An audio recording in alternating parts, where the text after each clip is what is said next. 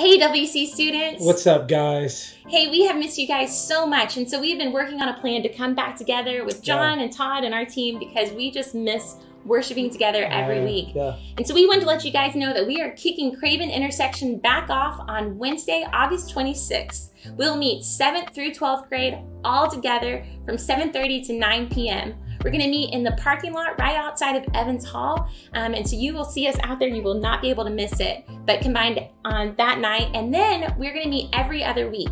So when we meet on August 26th, the following week we'll be off and we will have um, a video online and it'll be our team discussing what was taught and different things, the conversation that, that are spurred by the message. And we hope it'll encourage you to talk to your friends about things that you learned during Crave and Intersection that night. Yeah, and so what we want to do is we want to have this outside, and, we're, what we're asking you guys to do um, is to wear a mask. And um, we know the season that we're in, and um, we want to just be very mindful and respectful of different people's positions on that, and um, they're come and we because we want everyone to be involved. And so we're asking everybody to wear a mask. We're uh, we're doing it outside um, so that way people feel safe. And um, but we're going to have chairs set up towards the front of the stage that are going to be six feet apart.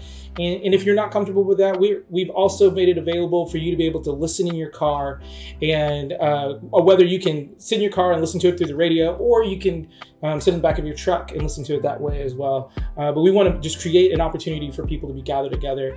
Um, and we'll also have it streaming live. And so that way you can watch it from your computer as well. And so all of these things is our hope in, in gathering everyone together as best as we can. And so we're asking for your help with that. We're asking that you be mindful of these rules and, and, and be respectful of other people's um, comfort levels um, so that way that we can have a lot of people gathering together to celebrate Jesus together. Yeah, that's our hope is to come back together, unified WC students, to make much of Jesus and to encourage one another. No matter what our position is, no matter what's going on in our family, we all want to join together. Yeah. So we're counting down the days until this kicks back off again, and we are praying for you guys daily. We love you guys so much. And we'll see you soon.